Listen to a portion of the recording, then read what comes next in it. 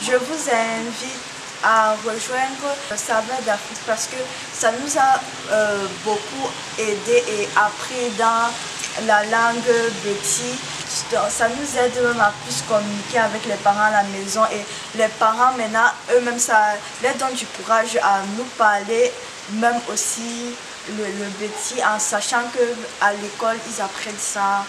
Donc un dernier mot à dire ce serait que euh, il faut euh, euh, afin de valoriser notre culture et de la mettre en avant via le langage, via les contes, euh, l'histoire de, de, notre culture.